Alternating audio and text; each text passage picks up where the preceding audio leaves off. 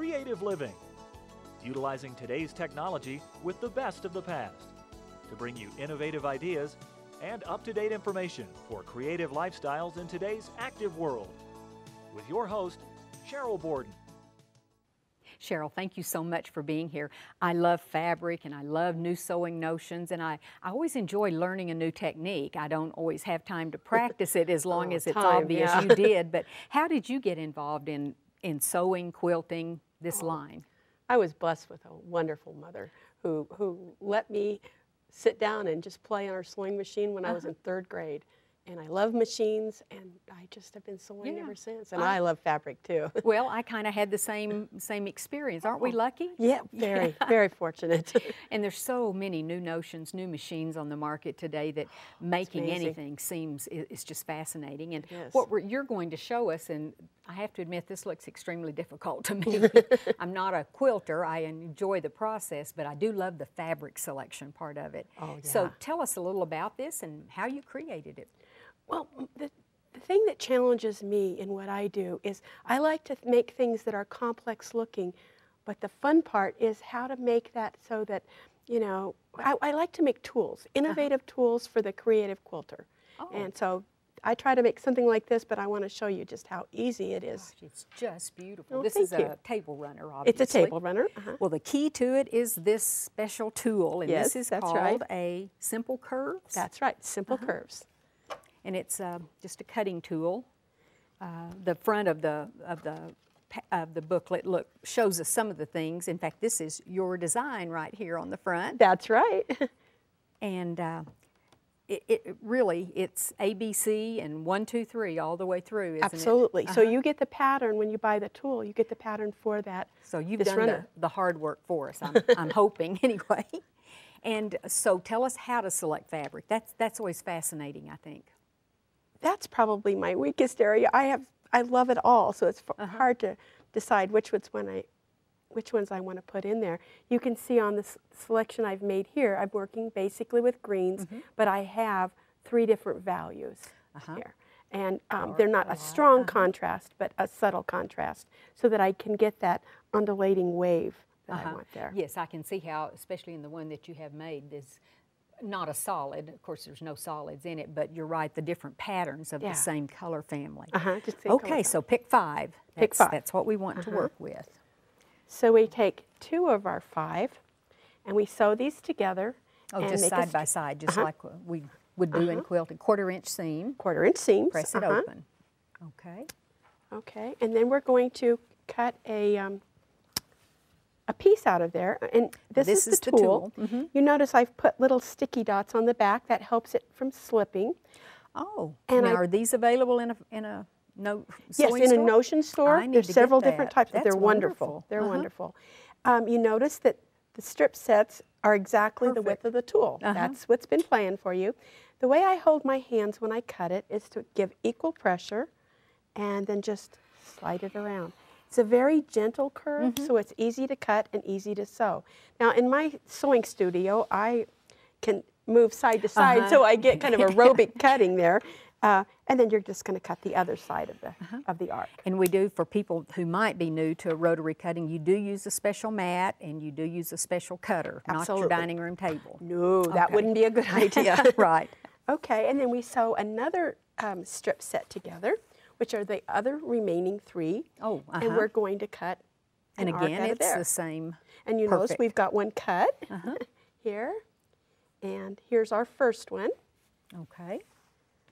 And you cut both and you just go through and cut as many as, as the as instructions as you, tell you. The instructions tell you. Mm -hmm. Now we're going to take the one that has three pieces. Mm -hmm. We're mm-hmm. going to fold it in half and just give it a little pinch. That lets us know where that oh, the center, center front or center. Uh -huh, okay. And you'll notice when you and I are looking at these, these are both frowning. Uh -huh. um, we're going to turn the top one over so it smiles at us at and the match centers. the center oh. and center. Mm -hmm. And we'll put a pin in there. We'll bring this corner down. They match exactly. Now this reminds me of when I learned to sew and we always had to run that basting stitch around the sleeve uh -huh. to Uh-huh. make it fit. Well, but you know, our bodies are curved.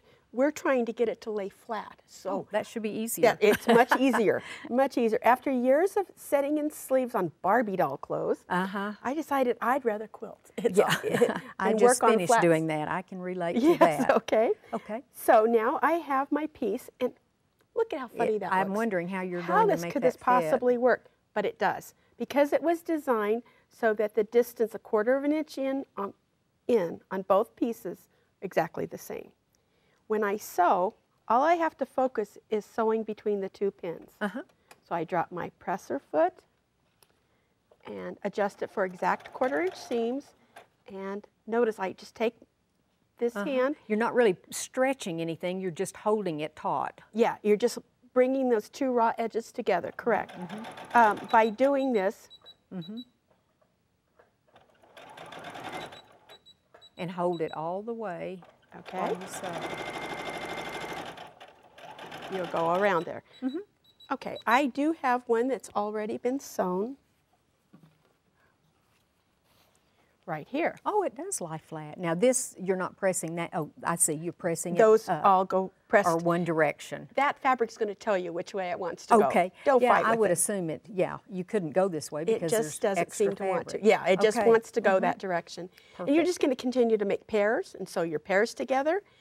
Keep sewing them together until you have a, a column. strip or column. Mhm, like this. And then we'll make a second one.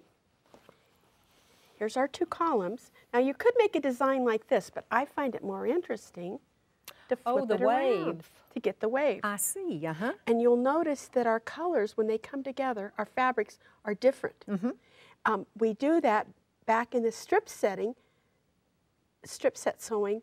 Um, we're going to go in opposite directions, so we get mirror images That's how you did it. Yes. Okay. and sew those So together. this will just be a quarter inch seam. We'll sew this side, Uh-huh. and then the this this what we're looking at right now is the exact size of what you made here in this sure table is. runner. It sure is. Okay. when we we just can continue to to add these columns it? Uh-huh. on as long as you want. It can be a table runner, but it could also be a bed runner. So you Oh. can make it longer if you'd like, Uh-huh. whatever you'd like to do. Then you're just going to take your top and layer it with batting and backing and bind it with a bias Mm-hmm. strip. And the bias strip will work beautifully along these curved edges. Oh yeah, it'll just blend right in there. And then, did you do this? This is all done by machine, isn't it? Yes, uh-huh, I do free motion quilting. and Got some floral That's designs in there.